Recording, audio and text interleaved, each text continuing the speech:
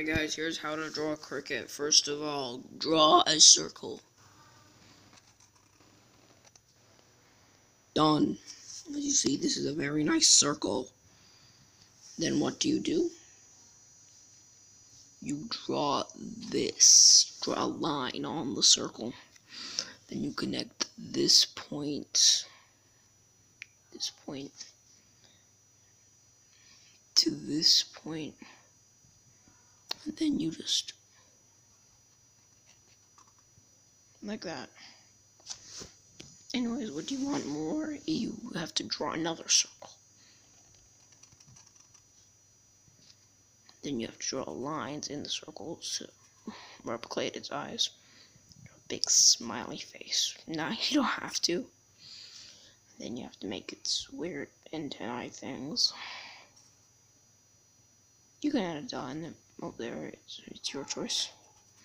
You draw its body like that. You can only draw as wide as you can, but right now, and then you draw two wings like that. Oh, popsicle six, but okay. And then I know my hand is in the way. Oh, let me unzoom this. So you draw, and then you just draw two legs. There you go, done. Oh, then you forgot the arms. You go. A cricket. Thing. The hell's on the other side? Okay, you do not have to see that. Anyways. Yeah. Oh, and with today's sponsor, just kidding, I do not own a sponsor.